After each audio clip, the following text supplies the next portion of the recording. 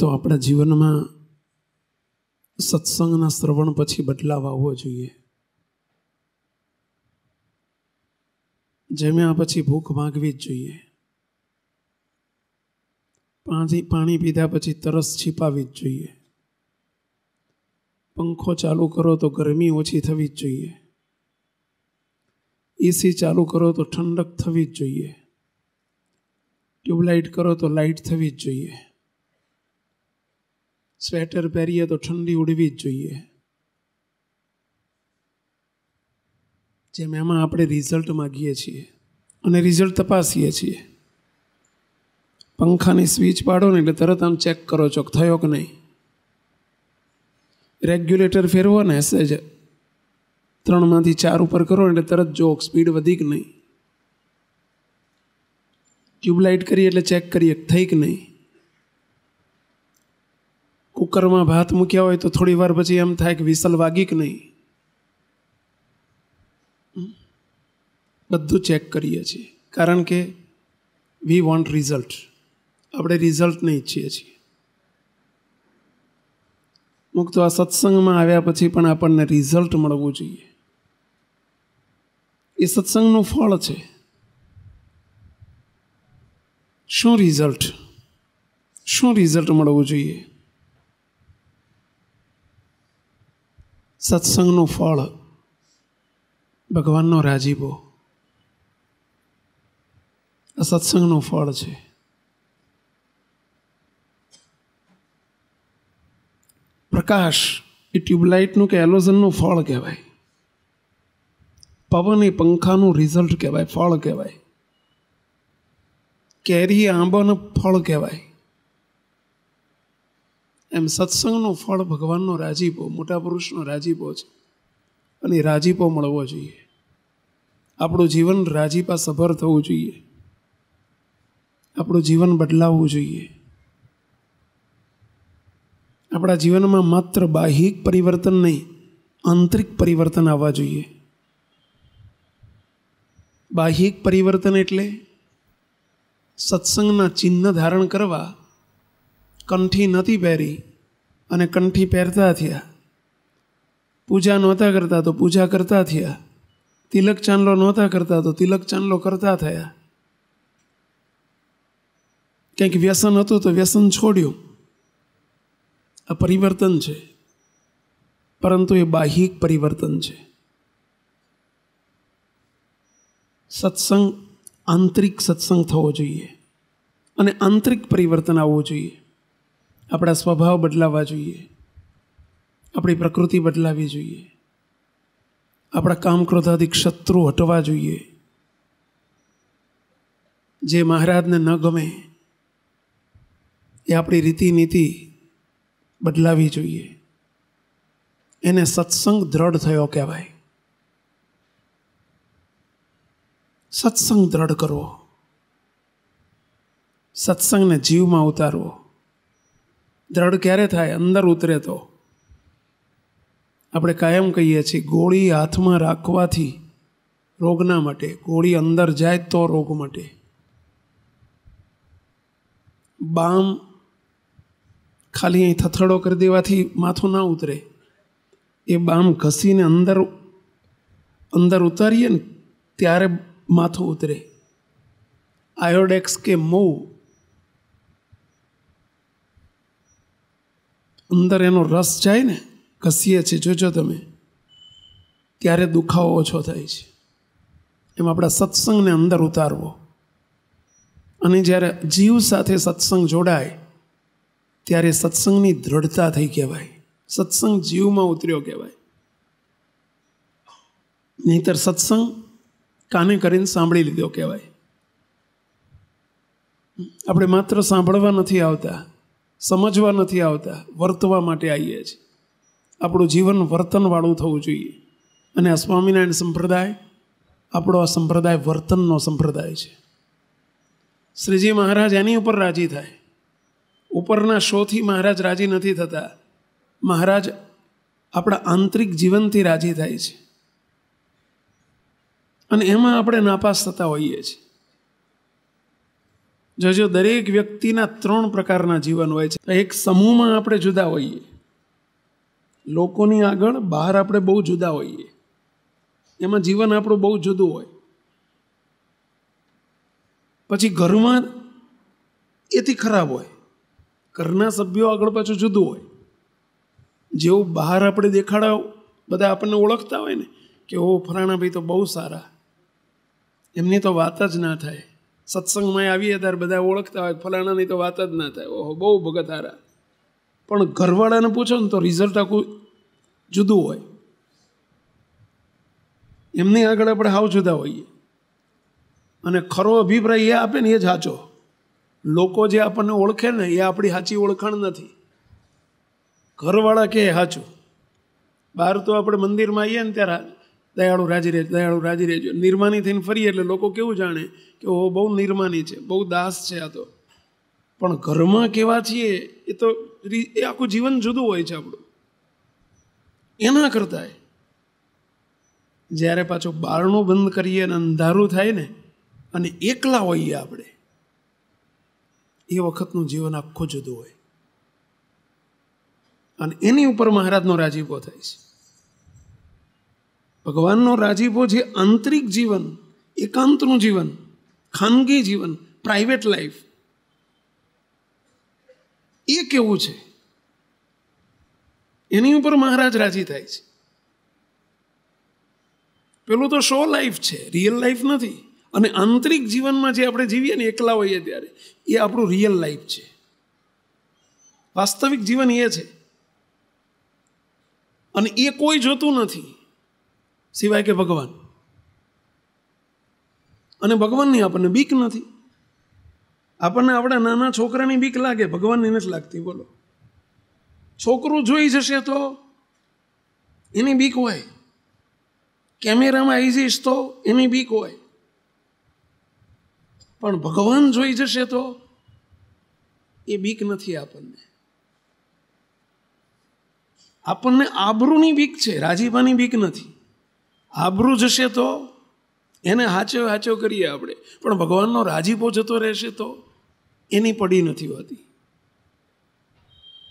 ભલે આપણે ગમે એવા સારા સત્સંગી કહેવાઈએ, કહેવાતા હોઈએ ને તો તે આપણું રિયલ લાઈફ જુદું હોય છે અને આપણું શો લાઈફ જુદું હોય છે. જાહેર પબ્લિક વચ્ચે જુદા હોય.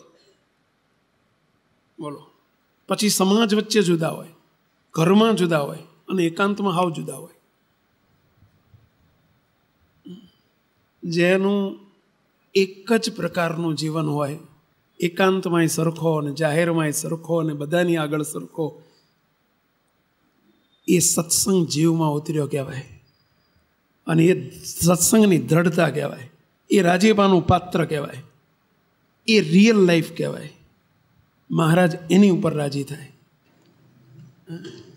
મહારાજના માર્ક્સ મળે ને એની ઉપર મળે.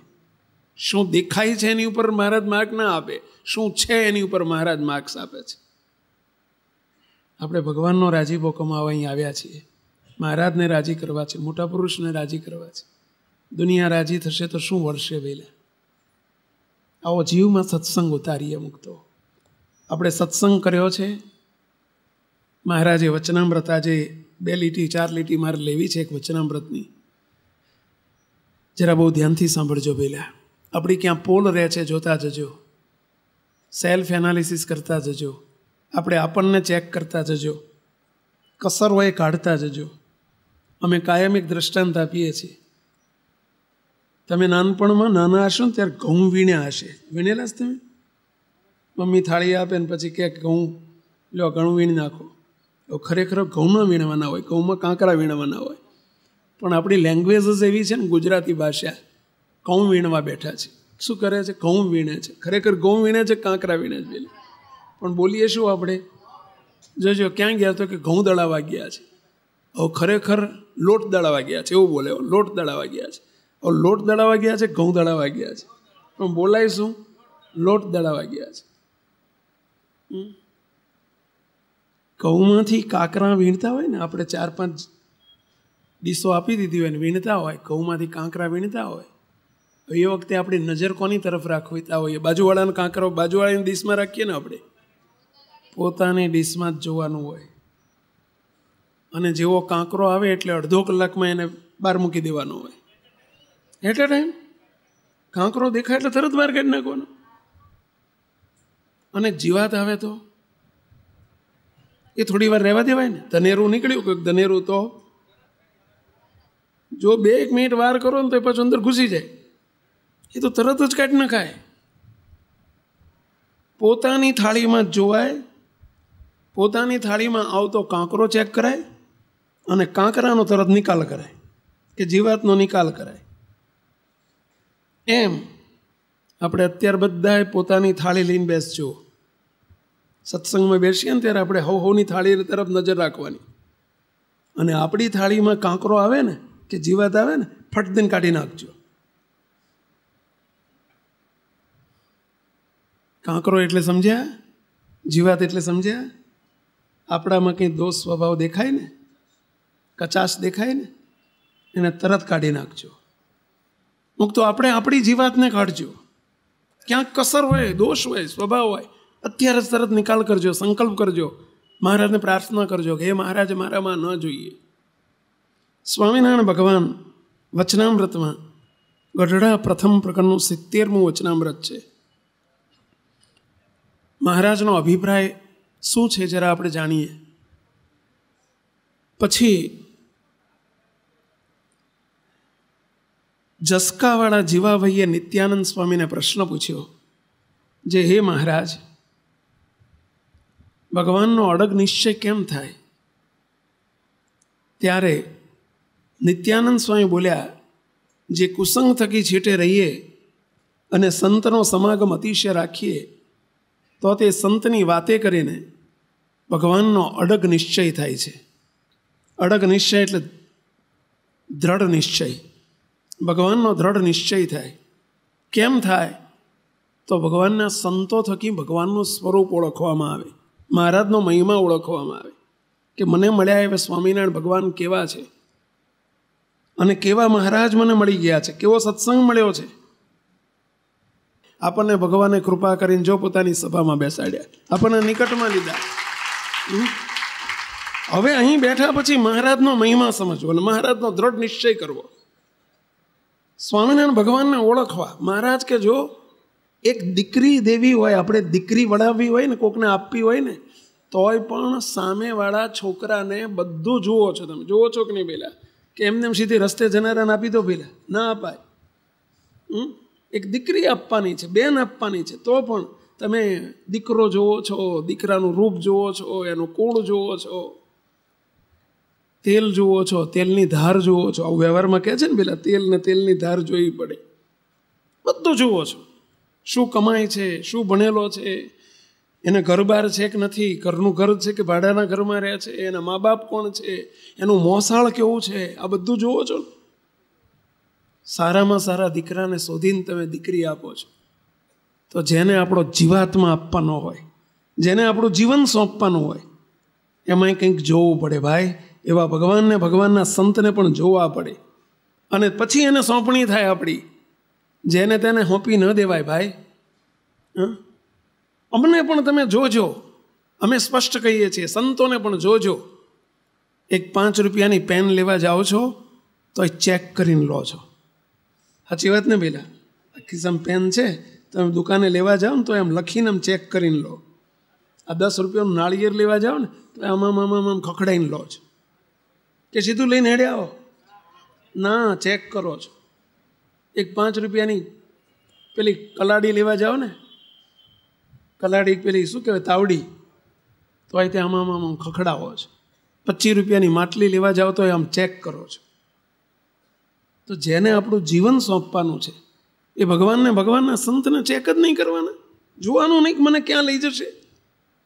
હં? એનો કોઈ વિચાર જ નહીં કરવાનો. ઉજળું એટલું દૂધ. બસ આપણે ભગવું પહેર્યું છે ને. અરે દૂધ ઉજળું એટલું દૂધ હોય, પણ ભેંસનું ઉજળું હોય એનું ધોળું હોય, ગાયનું ધોળું હોય, ઘેટાનું ધોળું હોય, બકરીનું ધોળું હોય, ઊંટડીનું ધોળું હોય, અને થોરિયાના આંકડાનું ધોળું હોય. એનું ધોળું જ હોય. હવે આપણે તો દોડું જ છે ને. અરે ઓલું તાજા કરે ને ઓલું ઠેકાણે પહોંચાડે ભાઈ. હમ? દૂધ ખરું દોડું ખરું, પરંતુ દોડા દોડામાં ફરક નહીં પેલા. હા? એમ લુગડું ભગવું પહેર્યું, પણ ભગવા ભગવામાં ફરક નહીં. અરે બહુ ફરક હોય ભાઈ. બહુ ફરક હોય. વિચારવું પહેલા સત્સંગ કરવો. તો બહુ વિચારીને કરવો, જોઈને કરવો. માથું સોંપવાનું છે આજે. આપણે એમને આપણું માથું સોંપી દેવાનું છે. જીવ સોંપી દેવાનો છે. અને કંઈ વિચારવાનું નહીં.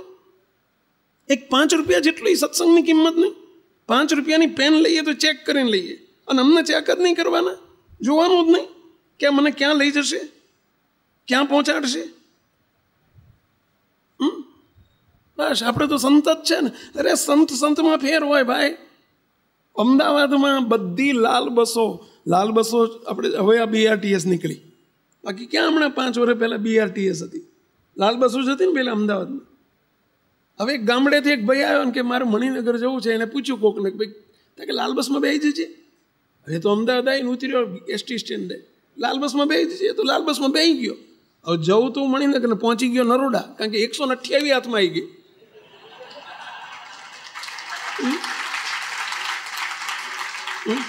લાલ બસ ખરી, પણ લાલ બસમાં જોવું જોઈએ. કે લાલ બસ ખરી, પણ લાલ બસનું બોર્ડ જોઈને જવું જોઈએ. બસ જોઈએ, લાલ બસ બસ આપણે લાલ બસ. એટલે લાલ બસ ખરી, પણ લાલ બસને જોવો તો ખરા. કે લાલ બસ મને ક્યાં લઈ જશે? એમ આ બધી અમે લાલ બસો હો. આ બધી લાલ બસો. પણ લાલ બસ જોવી પડે ભાઈ. પરંતુ જોઈને છે બે ભાઈ, એમને ના બે જવાય. તો સત્સંગ દ્રઢ થાય. બસ આપણે તો સત્સંગ જ કરવાનો, સત્સંગ કરવાનો. અરે ભાઈ જોઈન કરવાનો. તમે જોજો કોલેજ કોલેજમાં જવાનું. પણ કોલેજ એટલે આ તમારે ભણો છો સાયન્સમાં અને કોલેજ જવાનું. પણ એ જ કેમ્પસમાં કોમર્સે હોય ને આર્ટ્સે હોય. હવે આપણે તો કોલેજમાં જ છે ને. હવે આર્ટ્સમાં જઈને બેસી જાવ તો. શું શું શું શું તમે જવા મારો કહો ના કોલેજ કરી, પણ એ આર્ટ્સ છે, પેલી કોમર્સ છે, પેલી સાયન્સ છે, પેલી ટેકનિકલ છે, પેલી આઈટી ફિલ્ડની છે. બધું જોવું પડે ભાઈ. જ્યાં આપણે જે કોર્સ લીધો હોય એમાં બે આય ભાઈ. એ કોલેજમાં કોલેજ કરી, પણ કોલેજ કોલેજ અરે ક્લાસમાં વિદ્યાર્થીઓ કેટલું સમજે છે? જોવો જોઈએ સ્કૂલમાં જાય તો એ પાંચમા ધોરણનો વિદ્યાર્થી. હવે આપણે ક્લાસમાં જઈને બે જવાનું. પણ ક્લાસ એટલે એના ક્લાસમાં બે આય ત્રીજા ધોરણના ક્લાસમાં બે જાય જઈને. બોલો, આ ડાયો કહેવાય કે મૂર્ખો કહેવાય? કહો એમ કંઈક તો ફિક્સ હોવું જોઈએ કે ભાઈ, આ જ મારો ક્લાસ છે. એટલી તો ખબર હોવી જોઈએ કે આ મારો ક્લાસ છે. એમ ભગવાનનો પણ નિશ્ચય કરવો, તો મહારાજ કે સમજીને કરવો. મોટા પુરુષને સેવા તો સમજીને કરવા, સત્સંગ કરવો તો સમજીને કરવો. હવે ઘણી વખત શું થાય? અમારા બાપ દાદા વખતથી હાલ્યો આવે છે. એટલે આ પણ બાપ દાદા વખત હવે ના છોડાય. બાપ દાદા વખતનું છોડાય નહીં. એટલે આ બાપ દાદા વખતનું તમને બધાને પ્રશ્ન પૂછો અહીં બેઠેલા બધા. તમારા બાપ દાદાના હાથ પેઢીના ગામ છોડીને તમે અમદાવાદમાં આવતા રહ્યા કે નથી આવતા રહ્યા તમારું બાપ દાદાનું ગામ કયું પેલા અનિલભાઈ. વિસાવદર. ચલો તમે વિસાવદરમાં જ પડ્યા રહ્યા હોત તો. તો અત્યારે ગાડીઓ ના ફેરવતા હોત આ તો દાખલો આપું છું. હે? વિસાવદર બાપદાદાનું ગામ છે, પણ એના કરતાં વધુ મળતું હોય તો અમદાવાદ આવતું રહેવાય કે ના આવતું રહેવાય? અને અમદાવાદ કરતાં મુંબઈમાં હજુ વધુ સારું મળે તો? મુંબઈ જતું રહેવાય. અરે, લોકો વિદેશને જ જતા રહેતા. ભારત છોડી દે છે. ઇન્ડિયા છોડીને વિદેશ જતા રહે લ્યો. બાપ દાદાનું ગામ નહીં, બાપદાદાનો દેશ છોડી દે છે. કેમ? અહીં કરતા વિશેષ ત્યાં મળ્યું, તો લોકો ત્યાં જતા રહે છે. એમ સત્સંગમાં પણ આવીને સમજણ દ્રઢ કરવી પહેલી, કે આપણે શું કરવા સત્સંગમાં આવ્યા છીએ? આલોકના વૈભવ માટે આલોકના સુખ માટે આલોકના પદાર્થ માટે આપણે સત્સંગ નથી કર્યો. એમ વચનામૃત એ કહે છે કે ભગવાનનો નિશ્ચય કરવો, તે એકલો પોતાના જીવના કલ્યાણને અર્થે જ કરવો, પણ કોઈ પદાર્થની ઈચ્છાએ કરીને કરવો નહીં.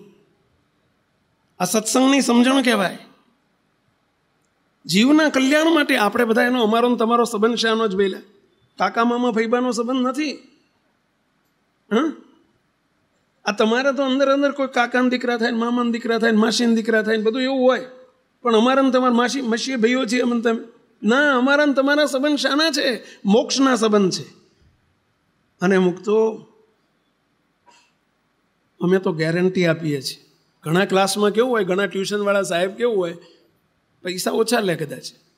પાંચ હજાર રૂપિયા ફી લેતો એને કહેતો, હું હજારમાં ભણાવીશ પણ ગેરંટી ના હોય કે પાસ કરવાની.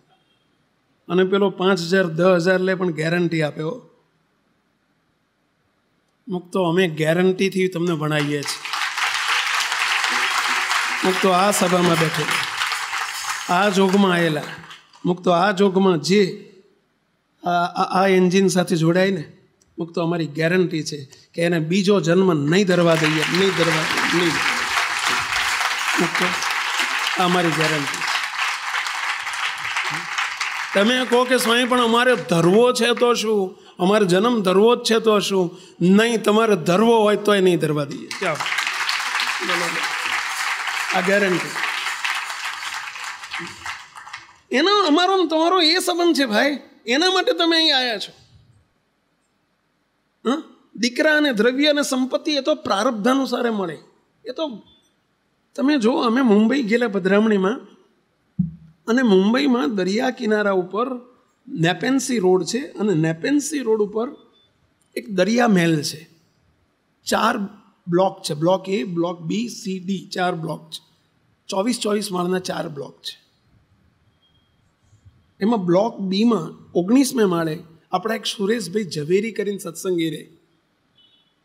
એમના ત્યાં અમે પધરામણી ગયેલા. એક એક ફ્લેટ, બધા ફ્લેટ લગભગ પચાસ પચાસ, આઠ આઠ કરોડના.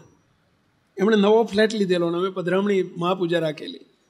પછી મને, મેં પૂછ્યું જરા કેટલાનો ફ્લેટ લીધો? મને કે સ્વાઈ ત્રેસઠ કરોડનો, સસ્તો મળી ગયો તોય શું કે સસ્તો મળી ગયો?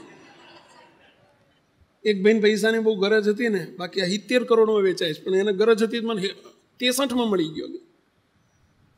પછી મને શું કે, મેં કે ત્રેસઠ કરોડનો ફ્લેટ? હવે આપણે તો પહેલું વખત આવું સાંભળ્યું એટલે આંખો પોળી થઈ ગઈ. મને કે, સ્વામી, અહીંયા નેવું નેવું કરોડના છે. આ તો અમારો થ્રી બેડરૂમનો છે. ફોર બેડરૂમના ફાઇવ બેડરૂમના બધા નેવું નેવું કરોડના ફ્લેટ છે. મેં કીધું, એક બિલ્ડિંગમાં કેટલા હતા? કે, સ્વામી, દરેક ફ્લોર ઉપર બે ફ્લેટ એક નાનો, એક મોટો, એક ટુ બેડરૂમનો એક ફોર બેડરૂમનો ચોવીસ અડતાલીસ, એક બ્લોકમાં અડતાલીસ ફ્લેટ એવા ચાર બ્લોક છે. મને કે, સ્વામી એનો માલિક છે ને એ માછીમાર છે. મુંબઈનો માછીમાર છે અને માછીમાર એનો માલિક છે. આ બિલ્ડિંગો બનાવી છે એને માછીમાર તો પાપી જ હોય, પાપ જ કરતા હોય. બોલો, એના ઘેરે આટલો રૂપિયો છે. મારે તમને એ કહેવું છે. પૈસો, દ્રવ્ય અને સંપત્તિ એ તો આગલા જન્મોના પ્રારબ્ધાનુસારે, કર્માનુસારે મળે છે. આ સત્સંગ તમને કર્માનુસારે નથી મળ્યો. આ તો કેવળ કૃપાથી મળ્યો છે ભાઈ. અક્ષરધામની સભા છે. એવું સ્વામિનારાયણ ભગવાન બોલ્યા છો. છેલ્લાનું બીજું વચનામૃત સ્વામિનારાયણ ભગવાન બોલ્યા છે. હું નથી કહેતો. મુક્ત આ લોકોમાં જોજો તમારે વિધાનસભામાં જઈને બેસવું હોય ને, વિધાનસભામાં. તો અહીં તે બે પાંચ કરોડ ખર્ચો ને ત્યારે વિધાનસભામાં બે ટિકિટ મળે અને પછી તમે રૂપિયા કેટલા ખર્ચો પાણીની જેમ. અને ત્યારે જીતો અને જીતો ત્યારે વિધાનસભામાં જઈને બે. પાર્લામેન્ટમાં બેવું હોય તો મને લાગે પાંચ દસ કરોડ જોતા હોય. પાર્લામેન્ટમાં બેવું હોય જઈને. એટલે આ લોકની વિધાનસભામાં પાર્લામેન્ટમાં બેવું હોય તો બે પાંચ દસ કરોડ જોઈએ છે. અને અક્ષરધામની ભગવાન સ્વામિનારાયણની પાર્લામેન્ટ બેઠી છે. અને એમાં મફત બેહાડ્યા આપણને મફત. શું આપ્યું છે આપણે કહો છે? શું આપ્યું છે? અને આપણે આપવાથી અહીં બેહાય? ના. આ તો કેવળ ભગવાનની જેની ઉપર કૃપા હોય, એનાથી અહીં બેસાય. બાકી ન બેસાય. ભગવાન ખેંચે તો બેસાય. હવે અહીં આવ્યા પછી શું કરવું? સત્સંગમાં આવીને શું કરવું? તો પેલો ભગવાન સ્વામિનારાયણનો દ્રઢ નિશ્ચય કરવો. કેવો નિશ્ચય કરવો? તો મોટા સંતો કહેતા નવડા જેવો નિશ્ચય કરી દેવો.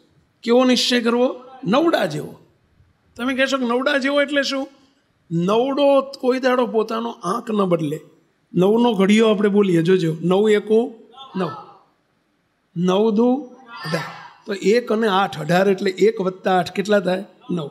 નવ તરી સત્યાવીસ. તો બેના હાથ કેટલા થાય? નવ. નવ ચોકું છત્રીસ. તો ત્રણને છ કેટલા થાય? નવ. નવ પંચું પિસ્તાલીસ. તો ચારને પાંચ કેટલા થાય? નવ. નવે છ કે ચોપન તો પાંચને ચાર કેટલા થાય? નવ. નવ હતું ત્રેસઠ. તો છ ને ત્રણ કેટલા થાય? નવ. નવ અઠ્ઠું બોતેર. તો હાથને બે કેટલા થાય? નવ. નવે નવે એક્યાસી તો આઠને કેટલા થાય? નવ. નવ દાન નેવું. તો નવને મીંડું નવ. હજુ બાકી છે તાળી ઉભારો અગિયારનો ઘડીઓ બોલીએ આપણે. અગિયાર પછી. નવનો ઘડિયો પણ અગિયાર નવવા નવ્વાણું. તો નવ નવ અઢાર. એટલે એકના આઠ કેટલા થાય? નવ. બાર નવા એકસો આઠ. એક જીરો ને આઠ. કેટલા થાય? નવ. તેર નવ એકસો ને સત્તર તો એક એક અને હાથ એટલે કેટલા થાય નવ ચૌદ નવ એકસો ને છવ્વીસ એક બે ને છ કેટલા થાય નવ પંદર નવ એકસો પાંત્રીસ એક ત્રણ ને પાંચ કેટલા થાય પેલા નવ સોળ નવ એકસો ચુમ્માલીસ તો એક ચાર ચાર કેટલા થાય નવ સત્તર નો એકસો ત્રેપન એક પાંચ ત્રણ કેટલા થાય નવ અઢાર નો એકસો બાસઠ એક છ બે કેટલા થાય નવ સત્તર નો એકસો એકોતેર એક હાથ એક કેટલા થાય નવ ઓગણી ઓગણીસ નવ, પછી વીસ નવ, એકસો એંસી, એક આઠ જીરો, કેટલા થાય? હજુ તમે બોલજો, તમે તાર એકવીયાનો, એકત્રીનો, એકતાલીનો બોલજો. નવનો ઘડિયો પોતાનો પોતાનો સહેજ પણ પોતાનું સ્થળ બદલતો નથી.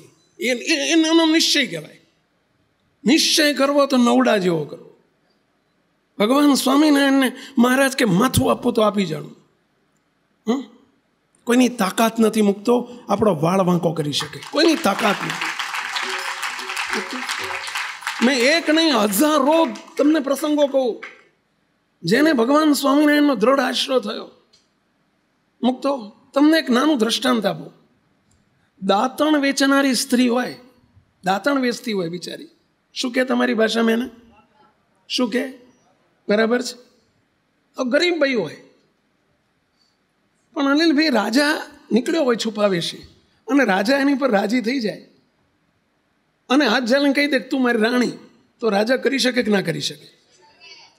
હવે એ રાણી થઈ ગઈ, પછી એ ક્યાં રહેવાને લાયક થઈ ગઈ? રાજમાં. રાજમાં હો.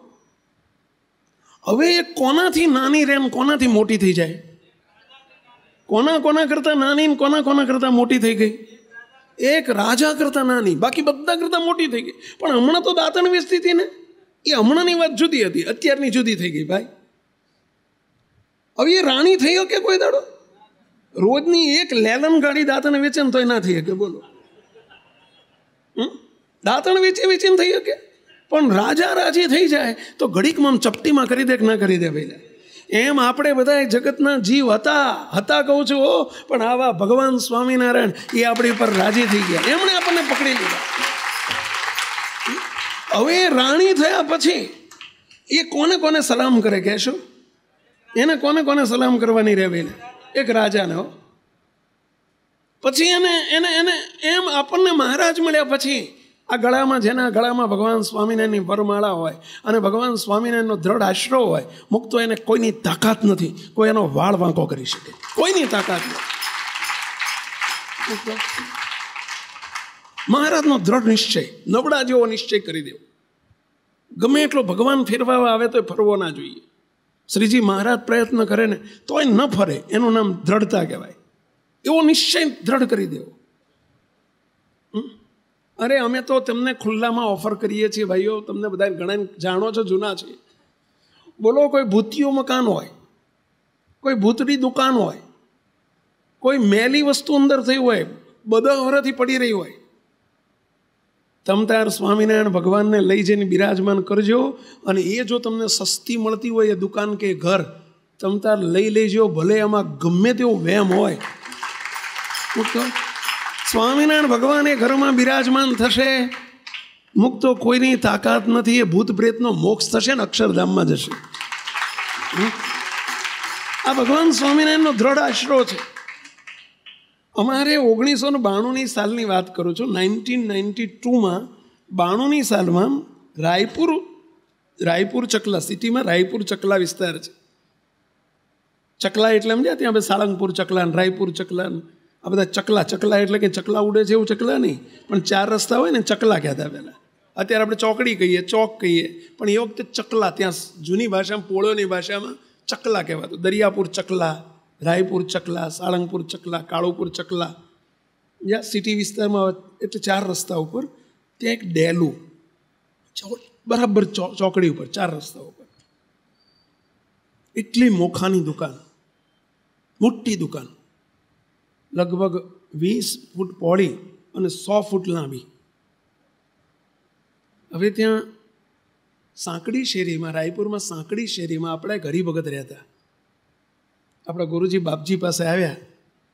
બાપજીને વાત કરી કે, બાપજી એક દુકાન છે. મારે દૂધનો ધંધો છે, પણ હું અત્યારે ઘેર રહીને ધંધો કરું છું. પૈસા દુકાન હોદીએ છીએ, પણ શહેરમાં કંઈ મળતી નથી. આ બાર વર્ષથી ઓગણીસો ને એંશીની સાલથી આ દુકાન બંધ પડી છે. એમાં એક મુસ્લિમ પરિવાર હતો. ભાઈઓ ભાઈઓમાં ઝઘડા થયા અને ત્યાં ત્રણ મુસ્લિમો, ત્રણ ભાઈઓ ખૂન ખરાબી થઈ ગઈ અને ધોળે દાડે ત્રણ લાશો પડી ગઈ. હવે એ દુકાનમાં ભૂત થાય છે. કોઈ એ દુકાન ભાડે લેતું નથી. બાર વર્ષથી બંધ પડી છે, અવાવરી પડી છે. શરૂઆતમાં કોઈ બે ચાર ભાડવાત આવ્યા તો અઠવાડિયું ના થાય ને એના ઘરમાંથી એક માણસ ઓછો થાય. કોઈ ત્યાં ટકી શકતું નથી. અરે રાત્રે પંખો ને બધું વ્યવસ્થિત હોય ને સવારે આવે ત્યારે પંખ્યા પંખાનું એક પાંખ્યું આમ પડ્યું હોય ને એક પાંખ્યું આમ પડ્યું હોય ને એક પાંખ્યું આમ પડ્યું હોય. કોઈ ત્યાં ટકતું નથી. અને એ ભૂતિ ભૂતિયું ડેલું પંખાઈ ગયું પંકાઈ ગયું છે, ભૂતિયું ડેલું છે. સ્વામી, હાવ સસ્તમ મળે એવું છે. બાપજીની વાત કંઈક, બાપજી હાવ સસ્તમ મળે એવું છે. લઉં. બાપજી કે કેટલા મળે? બાપજી એની બાજુની દુકાન હમણાં વેચાણી. ત્યાં પાઘડી ચાલે. ગામડા પેલું પેલું પોળિયોમાં પાઘડી ચાલે. જૂનું ભાડું ઓછું હોય, જૂનું ભાડું. પણ કે સ્વામી બાણુંની સાલમાં બાસઠ લાખ રૂપિયા પાઘડીમાં બાજુવાળી દુકાન વેચાણી. એ આથી નાની છે. આ તો વેચાતી લઈએ તો એની કિંમત એંશી લાખ કરોડ રૂપિયા ગણાય. પણ હાવ સસ્તામાં મકાન માલિક જોડે મિટિંગ કરી. એ કે તમે માગો એટલે માપી દો, બોલો. બાપજી, આઠ દસ લાખમાં છૂટી જાય એવી છે. દસ ટકા ભાવમાં કારણ કે કોઈ અંદર પ્રવેશવા તૈયાર નહીં. બાપજી કે ઊંધું ઘાલીને લઈ લો. પણ બાપજી ત્યાં, બાપજી કે કંઈ સંકલ્પ નહીં કરવાનો. સ્વામિનારાયણ ભગવાન બાપજી એટલે ઓળખ્યા પેલા આપણા ગુરુજી આ બાપજી, બહુ દિવ્ય પુરુષ. જેના દર્શને અનંત ધર્મના પાપ માત્ર બળી જાય. બાપજી કે, લઈ લો. સ્વામિનારાયણ ભગવાન બિરાજમાન થશે, અમે આવશું, મહાપૂજા કરશું. જેટલા ભૂત થતા હશે ને બધા એનો મોક્ષ કહીને અક્ષરધામમાં મોકલી દઈશું. કારણ કે એમણે તમને સત્સંગીને ફાયદો કરાયો. સત્સંગીને ફાયદો કરાવે એટલે એમણે સેવા કરી કહેવાય, સત્સંગીની. બોલો, દુકાન લઈ લીધી. આઠ લાખ ને અગિયાર હજારમાં દુકાન લીધી. હમણે આઠ લાખ કીધું, ઓલો કે હવા આઠ લાખ રહો. હવા આમ બોલતા બોલાય, હવા આઠ ને અગિયારમાં દુકાન લીધી. મફતમાં આડોશી પાડોશી છતાં એમ કે, તમે મૂર્ખા છો. તમારા ઘરમાંથી બે ચાર ઓછા થશે, મફતમાં ના લેવાયા. બોલ્યો કે મને મારા ગુરુજી આજ્ઞા કરી છે ને સ્વામિનારાયણ ભગવાનનો પ્રતાપ છે, એ બિરાજમાન થશે કંઈ થવાનું નથી. દુકાન સાફસૂફ કરી, દહ વર્ષથી કોઈ ઉગાડેલી નહીં એટલે અવાવરી પડેલી. થોડુંક રિપેર કરાવવાનું તો કોઈ રિપેર કરવા ના આવે. ત્યાં કડિયા ના કહે બધાને ખબર કે એ દુકાનમાં કેમ નહીં આવીએ. એટલે આ ડબલ ડબલ તને આપું, ઓલો કડિયો કે ડબલ પગાર આપો ડબલ મજૂરી આપો. નહીં, મજૂર મજૂરી કરવા ના આવે બોલો. હવે પરાણે પરાણે, એ કે તમતાર તમે અગિયાર વાગે આવજો ને પાંચ વાગે રાત પડે પહેલાં નીકળી જજો. એકલા ના આવશો, પાંચ જણા આવજો. જરૂર એક એકની હોય તો તમે પાંચ જણા આવજો. ભાવ જાઓ. એમ કરીને પંદર દિવસમાં રિપેર કરાવી બધું હરખું પણ કરાયું. બાપજીને અમે આ સેવક પણ જોડે હતો, અમે પધાર્યા. સ્વામિનારાયણ ભગવાનની મૂર્તિ ત્યાં સિંહાસન લઈ ગયેલા. એક સિંહાસનમાં ઠાકોરજીને પધરાવ્યા. ત્યાં પાંચ દસ મિનિટ ધૂન કરી સ્વામિનારાયણ મહામંત્રની મહાપૂજા કરી. બાપજી કે, હવે, અને પાણી છાંટ્યું. હવે તમે તાર જે દુકાન ચાલુ કરવું એ કરી દો. મુક્ત એમણે દૂધની દુકાન ચાલુ કરી. દૂધ અને દૂધની બનાવટો. એ મકાનમાંથી, એ દુકાનમાંથી રોજનો બબે ત્રણ ત્રણ લાખ રૂપિયાનું કાઉન્ટર હોય. એ દુકાનમાંથી એમને નારાયણપુરા વિસ્તારમાં ત્રણ મોટા મોટા બબ્બે ત્રણ ત્રણ કરોડના બંગલા લીધા. ત્રણ દીકરા હતા, ત્રણેય દીકરાના એક એક બંગલા લીધા. અને બે હજાર ને નવની સાલમાં એમનું નામ ભલાભાઈ હતું. એ ભલાભાઈ આવીને બાપજીને પ્રાર્થના કરી, બાપજી, દીકરાઓ ભણીને અમેરિકા જતા રહ્યા ત્રણેય દીકરા. હવે મારી ઉંમર થઈ મને બોલાવે છે મારે દુકાન આપી દેવી છે. શું કરું? બાપજી કે, આપી દો. એ દુકાન સાડા ચાર કરોડમાં વેચાણી. સાડા ચાર કરોડ. એમાંથી દહ કરોડ કમાયા હશે. બોલો, અને સાડા ચારમાં એમણે દુકાન વેચીને અત્યારે આખો પરિવાર અમેરિકા છે. મુકતો કાંઈ વહેમે નથી ને કશું નથી, બધું આ ભગવાન સ્વામિનારાયણ પધાર્યા, એનો પ્રતાપ છે. અમારે આવો એક નવસારીમાં પ્રસંગ બનેલો. નવસારીમાં. નવસારીમાં આપણા એક કેશુભાઈ કરીને છે, સરૈયા. કેશુભાઈ સરૈયા. સરૈયા એટલે સિંધી છે. જ્ઞાતિએ સિંધી છે. મૂળ ગોધરા રહેતા. ગોધરામાં આપણો મંદિર થયું મંદિરની સામે જ એમનો શોરૂમ હતો. પેલો બાઇકનો, હીરો હોન્ડાનો શોરૂમ હતો. આજથી આઠ દસ વર્ષ પહેલાંની વાત છે. હવે એમાં સત્સંગ થયો. સ્વામિનારાયણ ભગવાનની કંઠી બાંધી, સત્સંગી થયા, પૂજા લીધી. અને મહારાજને ઓળખ્યા બરાબર કે ભગવાન સ્વામિનારાયણ કેવા છે. એમની નિષ્ઠા થઈ ગઈ. હવે મહારાજે કસોટી લીધી. જો ક્યારેક સત્સંગની કસોટી ત્યાં થાય.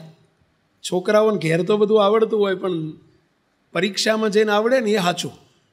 બાકી ઘેર મમ્મી, પપ્પા આગળ બધું કટકડાટ બોલી જાય, પણ ત્યાં જઈને કશું ના આવડે તો?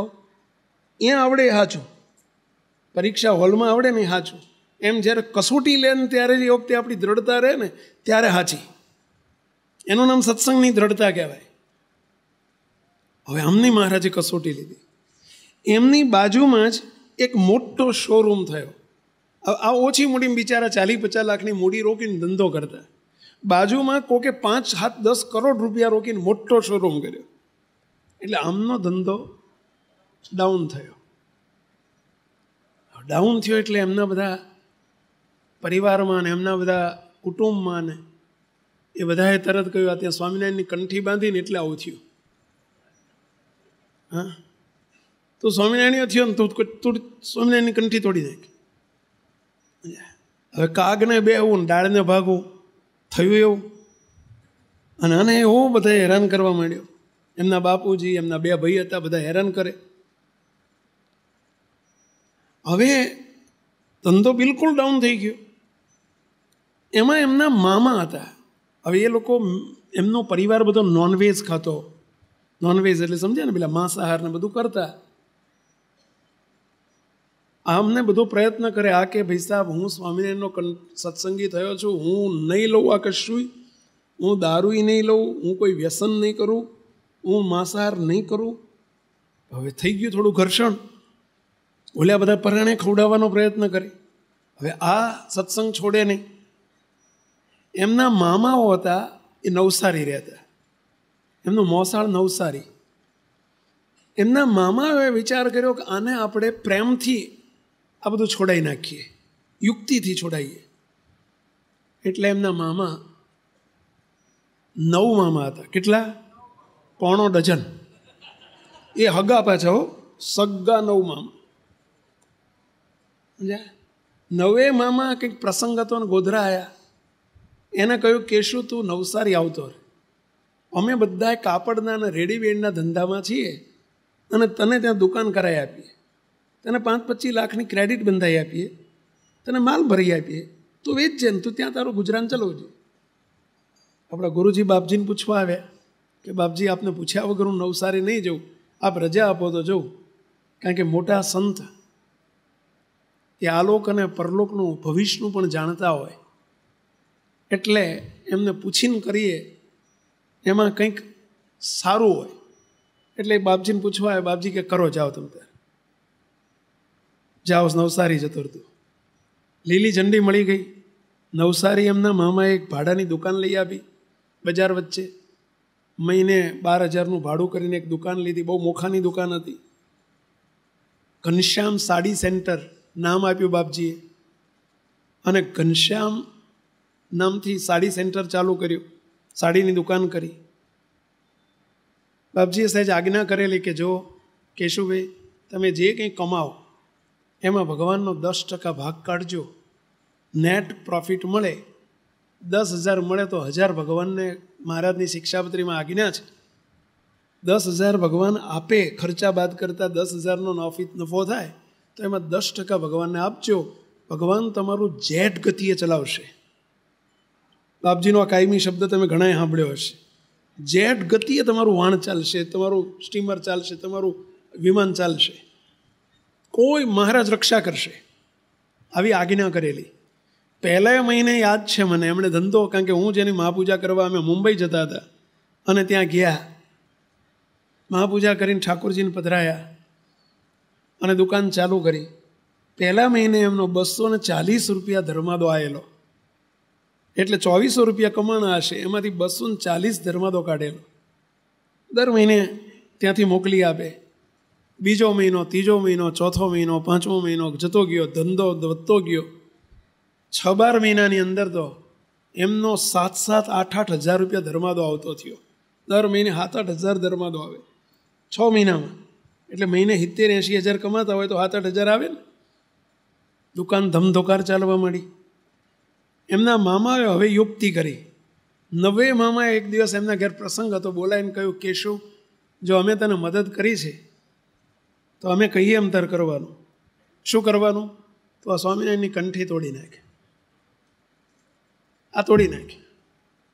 અને તો અમારી જેમ બાર, આ બધું જે ખાઈએ છીએ, પીએ છીએ બધું કરતું કેશુભાઈ કે, જો મામા, મેં કંઠી બાંધી છે, એ આ આવક માટે નથી બાંધી. મેં ધંધા માટે નથી બાંધી. અને આ કંઠી દોરામાં મેં નથી પરોયેલી. આ કંઠી જીવ સાથે પરોઈ ગઈ છે. એ જીવ જશે ને ત્યારે કંઠી તૂટશે. બાકી નહીં તો કે અમે સંબંધ તોડી નાખશું.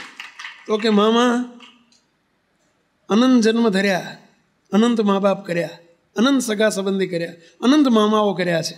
જો હું તમારી મામાની મોહબતે કંઠી તોડી નાખું, તો ફરી મારે અનંત જન્મ ઊભા થશે. મેં આ કંઠી બાંધી છે, મારા જીવના મોક્ષ માટે બાંધી છે અને એ કંઠી નહીં તૂટે નહીં તૂટે નહીં તૂટે. હું, તમે જે પીવડાવવા માગો છો, ખવડાવવા માગો છો એ નહીં ખાઉં નહીં ખાઉં નહીં ખાઉં નહીં પીવું નહીં પીવું નહીં પીવું. એમણે હવે બરાબરનું ઘર્ષણ થયું. મામાએ ધમકી આપી કે અમે તારા સંબંધ કાપી નાખશો. મામા, જેમ ઈચ્છા હોય એમ તમે. આ કરતા તમે રાખો તો રહીશ. બોલો, બધા મામાએ સંબંધ કાપી નાખ્યા. નવે, નવ મામાએ સંબંધ કાપી નાખ્યા. કાપી નાખ્યા એટલું નહીં. નવે મામાએ કહ્યું કે જો કે શું અમે જેટલા હારા છીએ એટલા ખરાબ છીએ. અમે તને ધંધો ચાલુ કરાયો છે, અમે તારો ધંધો ઠપ કરાવી નાખશું. તારો ધંધો ઠપ કરાવી નાખશું. ઠપ એટલે સમજે ને પહેલાં પડાઈ પડી ભાંગશું. અમે પચાસ પચાસ વર્ષથી બજારમાં બેઠા છે તું છ મહિનાથી બેઠો છો. તારી ક્રેડિટ અમે જ્યાંથી તને ક્રેડિટ અપાઈ છે ત્યાં ના પાડી દઈશું. અમે તને અહીંથી પહેરે લુગડે પાછો કાઢી મૂકશું. બોલ. આ કેશુભાઈને ભગવાનનું કેટલું બધું બળ. અને શું ક્યાં ખબર છે? મામા તાર્યું બધું સ્ત્રી હરિનું જ થાય.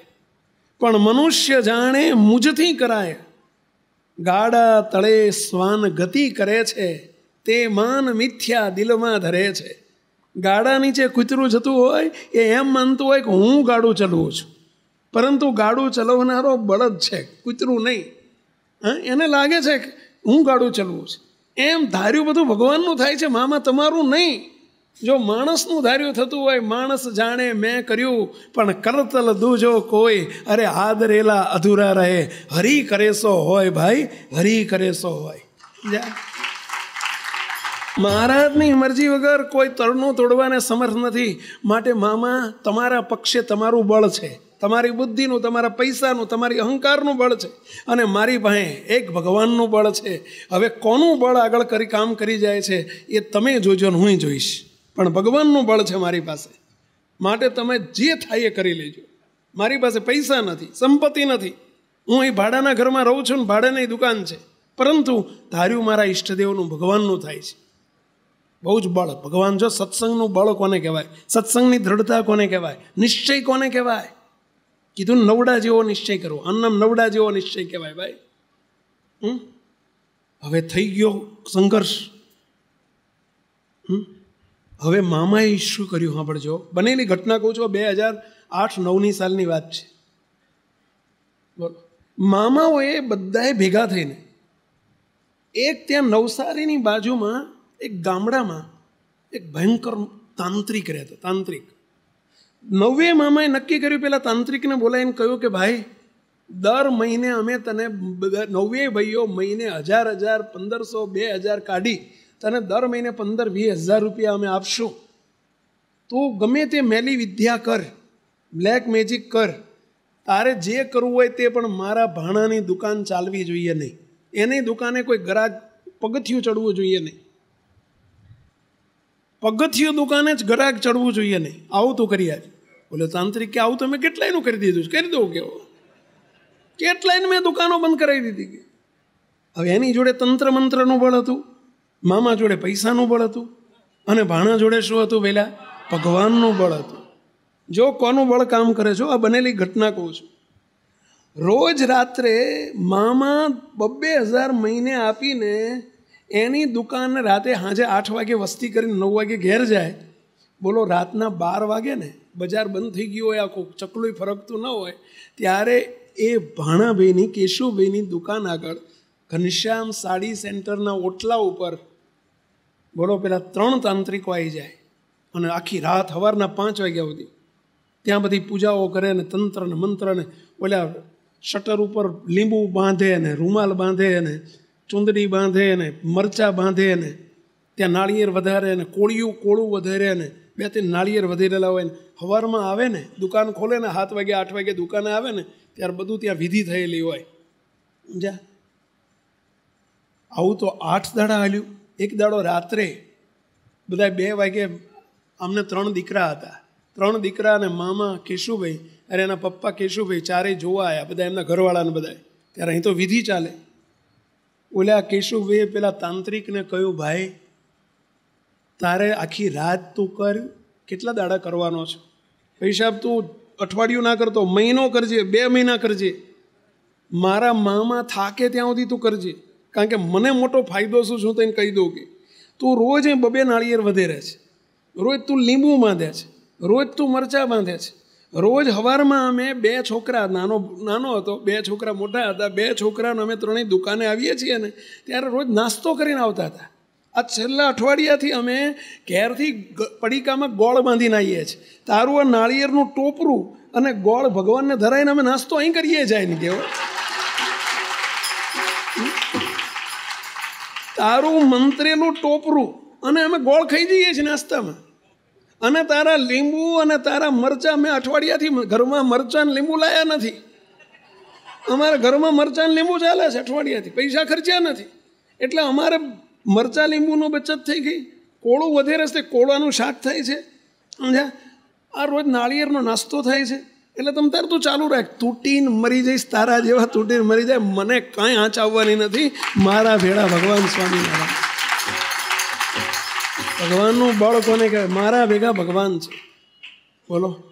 બે મહિના સુધી લોકો ઓલા લોકોએ બબ્બે હજાર લેખે ઓગણી દો આડત્રીસ હજાર ખર્ચ્યા. શાના માટે દુકાન બંધ કરાવો. આનો દિવસે દિવસે ધંધો વધતો જ જાય, વધતો જ જાય, વધતો જ જાય. બોલો. એનો ધંધો વધતો જાય. ઉલ્યા તંત્ર કરે ને એનો ધંધો વધતો જાય. ઊની આંચ ના આવે. બોલો. અને એક વર્ષમાં અંતે થાક્યા મામા?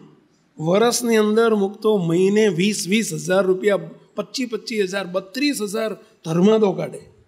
એક વર્ષમાં દુકાન એટલી જામી, દર મહિને પચીસ પચીસ હજાર રૂપિયા ધર્માદો નીકળે. એટલે મહિને અઢી અઢી લાખ રૂપિયા બે વર્ષમાં તો મૂકતો એમણે એ દુકાન વેચાતી લીધી, બત્રીસ લાખમાં એ દુકાન વેચાતી લઈ લીધી. જે દુકાન ભાડાની હતી એ વેચાતી લીધી બત્રીસ લાખમાં. એમના મામાઓ બધા નવે નવ હજુ ભાડાની દુકાનમાં છો?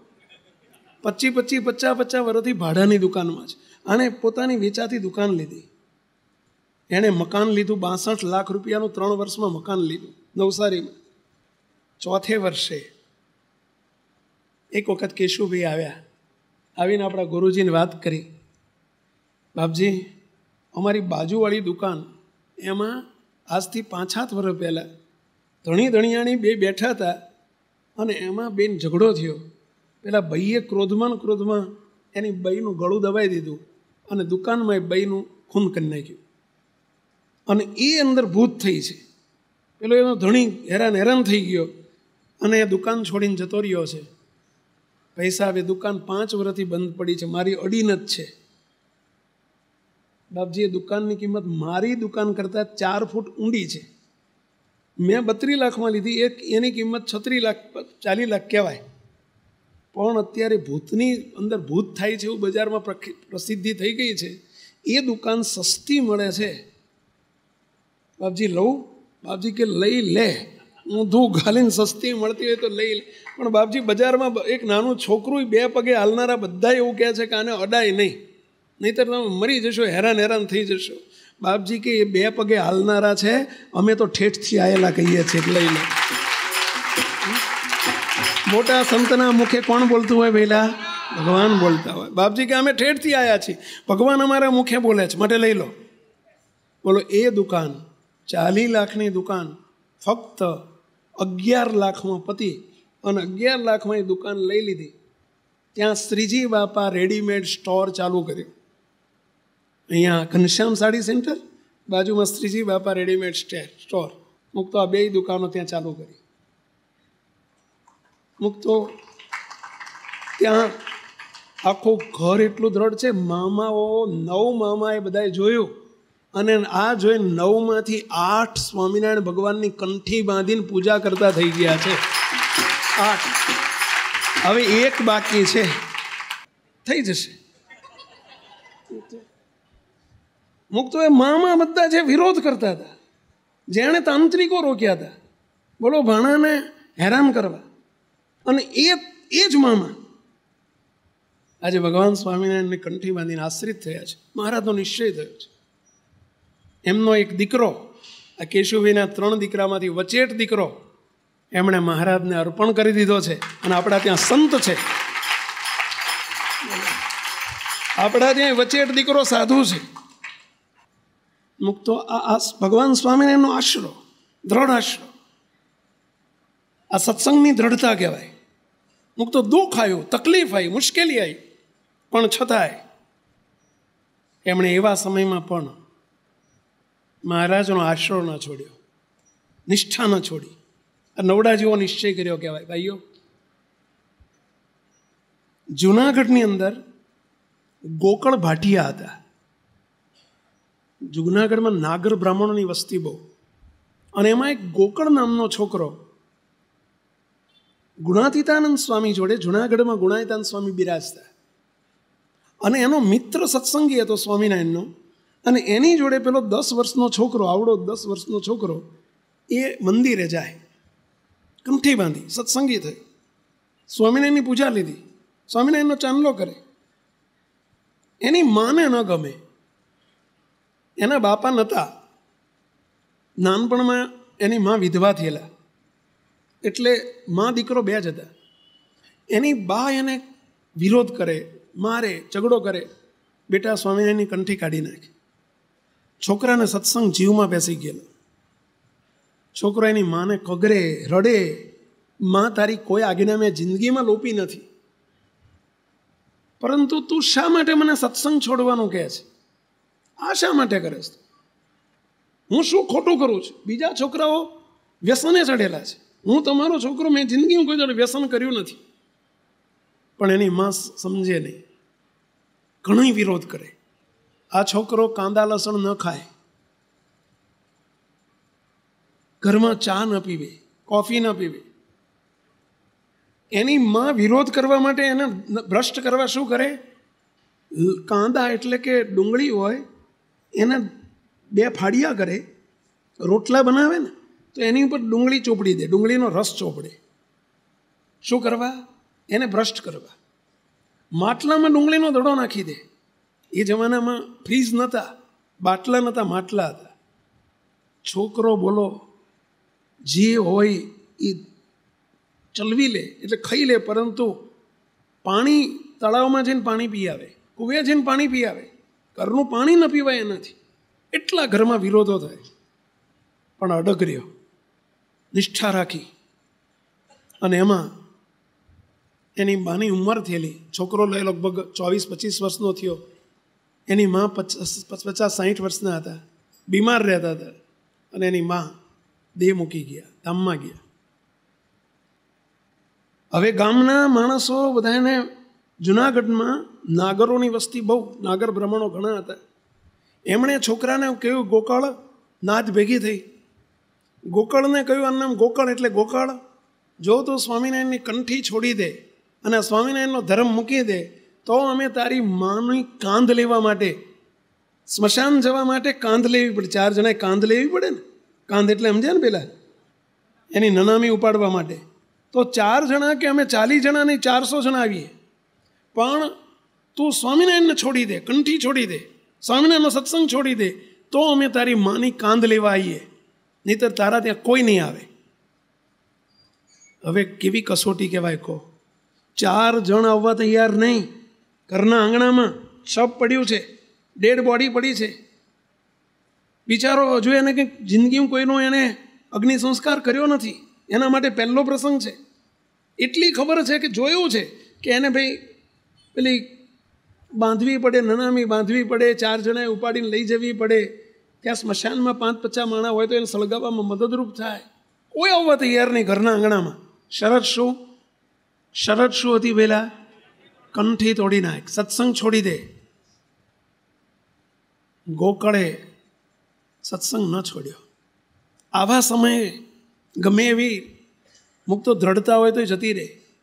પરંતુ એણે નક્કી કર્યું કે હું ઘરના આંગણામાં, હું લાકડા મગાવીશ અને મારા ઘરના આંગણામાં સ્મશાન કરીને ત્યાં ચિતા ખડકાઈને ત્યાં મારી માન અંદર ચડાઈને હળગાઈશ, બસ.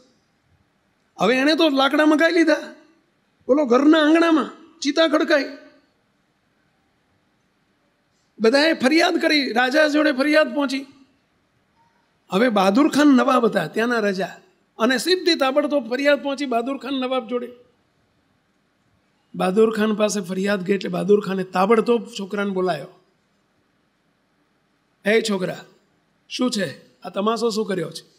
એણે કહ્યું, રડતા રડતા, રાજન, મારી માં અને હું બે જ મેં મા દીકરો જીવીએ છીએ. મેં સ્વામિનારાયણને કંઠી બાંધી છે. હું સ્વામિનારાયણ ગુણાતીતાન સ્વામી મારા ગુરુ છે. અને સ્વામી, અરે રાજન, આ લોકો એમ કહે છે કે તું કંઠી તોડી નાખ. મારી ઉંમરના મારા ભાઈબંધો, મારા જેવડા હતા જે મારા મિત્રો હતા, મારી જેવડી જેવડી ઉંમરના છોકરાઓ આજે કેટલા કુસંગે ચડેલા છે. મારે નથી કોઈ વ્યભિચાર, નથી કોઈ માંસાહાર, નથી દારૂ, નથી કોઈ વ્યસન. હું શું ખોટું કરું છું મને આ કંઠી છોડાવે છે? હિસાબ કોઈ આવવા તૈયાર નથી ચાર જણા નનામી ઉપાડવા.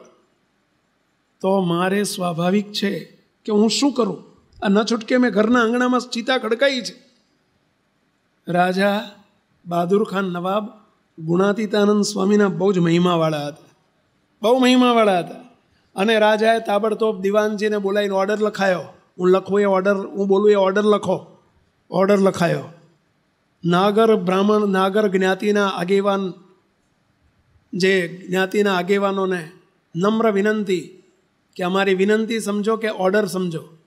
પરંતુ આ ગોકળને એની માની સ્મશાન વિધિમાં તમારા નાગર બ્રાહ્મણોમાંથી ઘર દીઠ એક વ્યક્તિએ જવાનું છે. ફરજિયાત જવાનું છે અમારો ઓર્ડર છે. જે નહીં જાય, એને કેદની કારાવાસની સજા થશે. એટલું જ નહીં, પરંતુ એની સ્મશાન વિધિ પત્યા પછી, એના દસમા ને બારમા ને ચૌદમાના દિવસે, એને ગામ જમાડવાની ઈચ્છા છે. એણે કંઈ કીધું નથી, ઓલે રાજા લખાવ્યા છે. એને નાત જ આખી નાગર બ્રાહ્મણની નાત જમાડવાની ઈચ્છા છે. એનો ખર્ચો એની પાસે નથી. નાગર બ્રાહ્મણ, બ્રાહ્મણના આગેવાનો તમને ઓર્ડર કરવામાં આવે છે કે તમારા ખર્ચે આખી નાત જમાડો. સમજ્યા? એટલું જ નહીં, પણ સ્વામિનારાયણના મંદિરમાં, સ્વામિનારાયણના ત્રણસો સાધુ છે, એ બધાને જમાડવા છે, રસોઈ આપવી છે, તો એનો ખર્ચો પણ તમારે વેઠવાનો છે. સમજ્યા? અને આ પ્રમાણે નહીં કરે, એને કારાવાસની આકરી સજા કરવામાં આવશે. ઓર્ડર કર્યો હવે પેલા તો પેલો માણસ, રાજનો માણસ આવીને ઓર્ડર બતાવ્યો બધા આગેવાનોને કે લો ઓર્ડર હવે ઘેર ઘેર ઓર્ડર પેલો સર્ક્યુલર સર્ક્યુલર લેટર તરીકે ફર્યો. નાગર બ્રાહ્મણના આગેવાનના ઘરમાં કોઈ મૃત્યુ થાય તો એ બસો પાંચસો જણા સ્મશાન યાત્રામાં હોય. જુનાગઢમાં એ વખતે પચીસો ઘર નાગરના હતા. પચીસોય ઘેરથી એક એક જણો ફરજિયાત આવવાનું. એની એની માની સ્મશાન યાત્રામાં પચીસ માણસ. બોલો. પચીસો માણસ. એણે વગર ખર્ચે આખી નાગર બ્રાહ્મણની નાત જમાડી અને સ્વામિનારાયણના મંદિરમાં જઈને ત્રણસો સાધુને પાંચસો હરિભક્તોને બસો હરિભક્તોને પાંચસો જણની રસોઈ આપી. કોના ખર્ચે પહેલાં અને અમુક તો એને સત્સંગમાં આટલોય વાંધો આવ્યો નહીં, આવવા દીધો નહીં ભગવાને. અને એના લીધે મંદિરમાં બધા એને જમવા લઈ ગયો. તમે ના કંઠી બાંધો કંઈ નહીં. અમારા ગુરુના દર્શન કરવાના જ રસોઈ જમવા તો આવો. અને રસોઈ જમવા તો આવે બધા આવે ને ભઈલા? પ્રસાદી લેવા બધાને બોલાયા અને એમાંથી હો સત્સંગી થયા. કેટલા સત્સંગી થયા પેલા એક સો સત્સંગી. આને કહેવાય સત્સંગની દ્રઢતા. આ સત્સંગની દ્રઢતા કહેવાય. મુક્તો? સત્સંગ જીવમાં કોને ઉતર્યો કહેવાય? સહેજ સુખ દુઃખ આવે અને આપણે કંઠી છોડી દઈએ. સહેજ સુખ દુઃખ આવે ને ભગવાનને છોડી દેવાના. સહેજ સુખ દુઃખ આવે ને આપણને સત્સંગ મૂકી દેવાનો. શું સમજીએ છીએ આપણે? શું સમજ્યા? શું સત્સંગને ઓળખ્યો. મુક્તો ગમે તેવું કષ્ટ આવે, આવો જે બનાવ ઠાસરાની અંદર. ઠાસરા ગામ છે, ઠાસરાના દયાળજીભાઈ હતા. વણિક બ્રાહ્મણ હતા. અને એમને સ્વામિનારાયણનો સત્સંગ થયો. દયાળજીભાઈ અને એ દયાળજીભાઈને સત્સંગ થયો, કંઠી બાંધી. હવે આખી નાતમાં એક જ સત્સંગી થયેલા. બધાએ વિરોધ કર્યો. છોકરા મોટા થતા જતા હતા. છોકરાએ નાતવાળાએ બોલાવીને કહ્યું કે દયાળજીભાઈ તમે સ્વામિનારાયણની કંઠીમાંથી છોડી નાખો. નહીં છૂટે બાપા. અમે તમને નાત બહાર મૂકીશું પૈસા બાપા, તમારી જેમ ઈચ્છા હોય એમ કરો. અમે તમારી બેટી રોટીના વ્યવહાર કાપી નાખશું. બેટી રોટીના વ્યવહાર એટલે સમજ્યા પહેલાં બેટી રોટીના વ્યવહાર એટલે સમજ્યા ને? દીકરી આપે ને રોટી એટલે એને કોઈ ભેગા બેહીને જમવા દે નહીં, જમાડે નહીં. બોલો, બધી બધી તમામ પ્રકારની કસોટીઓ કરી લીધી. બધા વ્યવહાર કાપી નાખ્યા. ગામના કૂવે પાણી ન ભરવા દે. બોલો, ગામના કૂવે એ જમાનામાં નળ નહોતા, કૂવા હતા. ગામ કૂવો હોય અને ગામના કૂવે પાણી ન ભરવા દે. હજામ, હજામત કરવા ના જાય. બોલો, ઢોર ધામમાં જાય, ધામ, ઢોર મરી જાય ને, તો એને ખેંચવા માટે પેલા ગામડામાં આવે ને તો એ ના આવવા દે. બોલો, કુંભાર માટલું ના આપે. પ્રજાપતિના ઘેર જાય તો માટલું ના આપે એમ. બોલો, એવી પરિસ્થિતિ થઈ ગઈ. આખા ગામવાળાએ નાચબાર કરી દીધા. ગામ બાર કરી નાખ્યા. એમના પત્ની ઢીલા પડી ગયા. અને એમના પત્ની રડવા માંડ્યા. અને ઘરમાં કહે છે, પતિદેવ, હું તમને પગે લાગુ બાપા. આપણે કંઠી છોડી નાખો, સત્સંગ મૂકી દો. અને એ વખતે દયાળજી ભાઈ જે શબ્દો બોલ્યા છે, મુક્તો હરિલીલામૃત કાવ્યની અંદર હરિલીલામૃત ગ્રંથની અંદર વિહારીલાલજી મહારાજે આ પ્રસંગને કાવ્ય રૂપે વર્ણવી લીધો છે, વણી લીધો છે. અને શું બોલ્યા? એ વખતે કહે છે કે, હે, એમના પત્નીને કહે છે કે, હે સતી, કે સર્વે થકી શ્રી હરિ છે સમર્થ. સર્વે થકી શ્રી હરિ છે સમર્થ. બીજા બીજા તણી બીક બધાની વ્યર્થ. આ બીજાની બીક શું રાખો છો. શરીરને સંકટ શ્રેષ્ઠ થાય. આ શરીરને સંકટ શ્રેષ્ઠ થાય તથાપી સત્સંગ નહીં ત્યજાય તથાપી સત્સંગ નહીં ત્યજાય બોલો એટલી પંક્તિ બધા જોડે બોલો। તથાપી સત્સંગ નહીં ત્યજાય। અરે સત્સંગ કીધો નિજ શીર સાટે। શું કે છે? સત્સંગ કીધો નિજ શીર સાટે। આ માથા સાથે સત્સંગ કર્યો છે। માથા સાથે કે સતસંગ કીધો નિજ શિર. અરે ફણિન્દ્ર ને તો મણિ પ્રિય લાગે. ફણિન્દ્ર ફણિન્દ્ર. એટલે સમજ્યા પેલા? પેલા કોઈ કેટલાક નાગ હોય ને નાગના આગળની ફણા હોય ને એમાં ક્યાંક મણી હોય એવા મણિધર નાગ કહેવાય. એને શું કહેવાય પેલા? મણિધર નાગ. અને એવા ફણિન્દ્ર હોય જેની મણી જેની ફણામાં મણી હોય. અને એ મણી કોઈ કાઢી નાખવા આવે કે ફણીન્દ્રને તો મણિપ્રિય લાગે. એને કેટલો મણિપ્રિય હોય? એ મરી જાય એના ટુકડા કરી નાખે તો એ મણી ના જવા દેવો.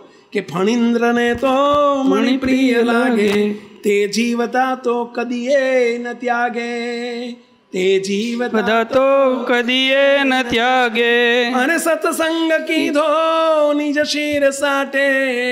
સત્સંગ કીધો નિજ શિર સાટે. નહીં તજુ નાત તણે ઉચાટે.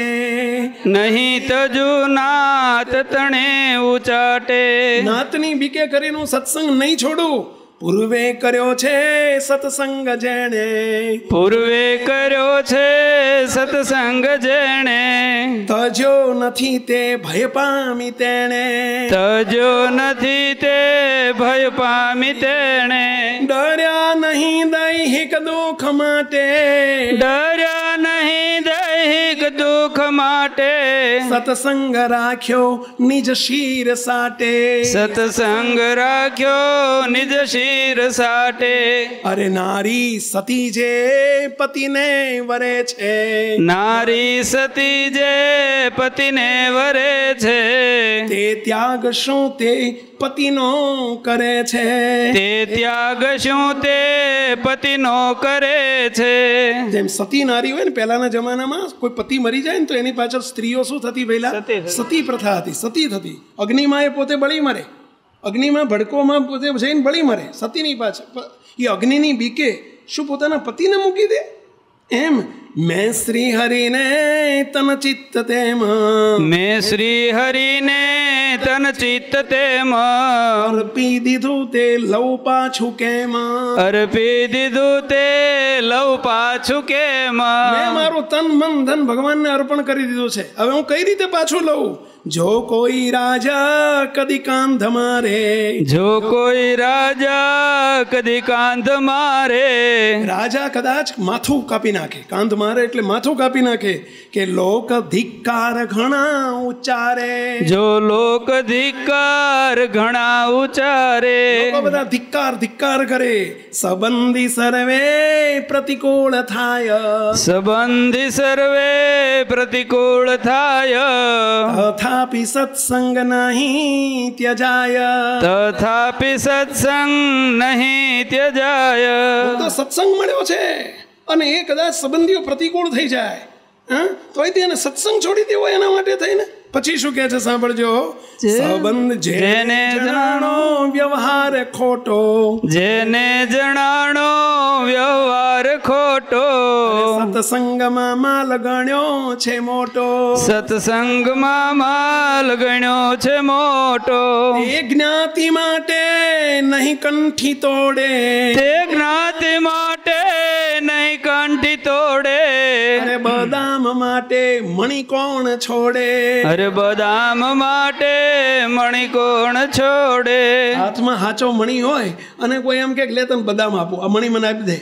મૂર્ખો હોય આપે. બાકી મણી આપી દે બદામ માટે થઈને. એમ હું આ સત્સંગ છોડી દઉં? જ્ઞાતિ માટે થઈને મને મારા સંબંધીઓ પ્રતિકૂળ થાય એના માટે થઈને હું આ સત્સંગ છોડી દઉં? આ ભગવાનને છોડી દઉં? જેણે સુધાપાન કર્યું જલેશ. જેણે સુધાપાન કર્યું જલેશ. પાન એટલે અમૃતનું પાન. અમૃત પીવે ને એટલે અમર થઈ જાય એમ કે છે. જેણે સુધા પાન કર્યું જલેશ. જેણે સુધા પાન કર્યું જલેશ. તે થાય પ્રત્યેક રગે પ્રવેશ. તે થાય પ્રત્યેક રગે પ્રવેશ. રગ રગમાં પ્રવર્તી ગયું હોય અમૃત. પછી પછી ભલે મસ્તક જો કપાય. પછી ભલે મસ્તક જો કપાય. અમૃત પાન કર્યું હોય ને પછી મસ્તક કોઈ કાપી નાખે એટલે મરી જાય માણસ? અરે તરત જીવતો થાય પાછો. ભલે પછી ભલે મસ્તક જો કપાય. પછી ભલે મસ્તક જો કપાય. તથા પીધું ન પીધું થાય. તથા પીધું ન પીધું થાય. એવી જ રીતે સત્સંગ રંગ. એવી જ રીતે સત્સંગ રંગ વ્યાપી રહ્યો અંતર બાર અંગ વ્યાપી રહ્યો અંતર બાહ્ય રંગ આત્મા વિશે તો અતિરંગ ભાસે આત્મા વિશે તો અતિરંગ ભાસે શરીર જાતા તે પણ શરીર જાતા પણ તે ન જાશે શરીર જાતા પણ તે ન જાશે આત્મામાં સત્સંગ જીવમાં ઉતરી ગયો હોય એ શરીર જાય તો એ જ- જીવનો સત્સંગ ન જાય પહેલા એનાથી બીવે નહીં. અને પછી શું કહે છે હો સાંભળજો. અરે સતી પતિ સંગ ભળે જઈને સતીપતિ સંગ ભળે જઈને નાસે નહીં દુખિત તે થઈને. નાસે નહીં દુખિત તે થઈને. એવી રીતે દુખ યથાગ થાય. તેવી રીતે નહીં તજાય તથાપી સત્સંગ નહીં તજાય મેરુ ચડે મેરુ પર્વત કદાચ ચલાયમાન થઈ જાય ત્યાંથી ડગી જાય આ ગિરનાર ને મેરુ કોઈ દાડો ડગે પેલા ના ડગે હિમાલય કોઈ દાડો ડગે કોઈ દિવસ સાંભળ્યું કે એક વેંત ખસી ગયો પેલા હે મેરું ચડે ભૂમિ ફણીન્દ્ર મૂકે મેરુ ચડે ભૂમિ ફણીન્દ્ર મૂકે કે વેદ વેદવાણી વિધિ દેવ ચૂકે કે વેદવાણી વિધિ દેવ ચૂકે ભાનો સૂર્ય ભાનો ઉદય પશ્ચિમ પાસ થાય ભાનો ઉદય પશ્ચિમ પાસ થાય સૂર્ય કદાચ પૂર્વના બદલે પશ્ચિમમાં ઉગે તથાપી સત્સંગ નહીં ત્યજાય તથાપિ સત્સંગ નહીં તજાય અને દયાળજીભાઈ છેલ્લી પંક્તિમાં કહે છે એમના પત્નીને હે ધીરા રહી ધીરજ ચિત્ત ધારો ધીરા રહી ધીરજ ચિત્ત ધારો ધીરજ રાખો શુક્રવાર તમે ડગી જાઓ છો ધીરા રહી ધીરજ ચિત્ત ધારો ધીરા રહી ધીરજ ચિત્ત ધારો સત્સંગ કેરો મહિમા વિચારો સત્સંગ કેરો મહિમા વિચારો સારું ચણાવે ઘર શ્રેષ્ઠ ઘાટે ચારું ચણાવે ઘર શ્રેષ્ઠ ઘાટે. તજાય શું મચ્છર દુઃખ માટે. તજાય શું મચ્છર દુઃખ માટે. મોટી હાથમાળની હવેલી કરી હોય બહુ ફર્સ્ટ ક્લાસ મોટો બંગલો બનાવ્યો હોય ને એમાં એકાદુ મચ્છરિયું ગુણ ગુણ ગુણ ગુણ ગુણ ગુણ કરતું હોય તો શું કરવું જોઈએ? ઘર છોડીને જતા રહેવાનું પહેલાં? એટલે મચ્છરિયાને લીધે ઘર બંગલો છોડી દેવાનો? અરે મચ્છરદાની બાંધવાની ઓડોમાં સ્ક્રીન લાવવાની ઓલું ઓલ આઉટ લાવવાનું. ગુડ નાઇટ લાવવાનું, હે? પણ એના લીધે ઓલો સ્પ્રે કરો પણ એના લીધે બંગલો છોડી દેવાય આખો. એમ કદાચ કોઈ વિરોધ કરે, એને લઈને આવો સત્સંગ છોડી દેવાય. તથાપી સત્સંગ નહીં ત્યજાય તથાપિ સત્સંગ નહીં ત્યજાય બોલો બધાય તથા તથાપિ સત્સંગ નહીં ત્યજાય તથાપિ સત્સંગ નહીં ત્યજાય ભગવાન મળ્યા આવો સત્સંગ મળ્યો એને છોડી દેવાય અને જ્યાં આટલું કહ્યું એમના ઘરના એમના ધર્મપત્નીને, એટલું બધું બળ આવી ગયું, એટલો બધો પાવર આવી ગયો, મુક્તો આવા દુઃખ વેઠી વેઠીને સત્સંગ કર્યો છે. આપણે તો બધા હે તમે જોડો હિંડોળા ખાટે હિંચવાનું અને તમે જો સત્સંગ કરવાનો ભાઈ. મહારાજને પ્રાર્થના કરો છો કે, હે મહારાજ, હે બાપા, આજે કોઈ ના આવતા હોય ને, એ આજે આવ્યા હોય ને, આજની પ્રસાદી જમે, એનો છેલ્લો જન્મ કરજો કરજો કરજો. એવી મહાપ્રભુના ચરણોમાં પ્રાર્થના સાથે સર્વે મુક્તોને જય સ્વામિનારાયણ મુક્તો. આ વીડિયો જો આપને પસંદ આવ્યો હોય, તો તેને લાઈક કરો અને શેર કરો. અને હા, આવા જ લેટેસ્ટ વીડિયો મેળવવા માટે એસએમવીએસ કથા ચેનલને સબસ્ક્રાઇબ કરવાનું અને બેલ આઇકોન પર ક્લિક કરવાનું ન ભૂલતા હો.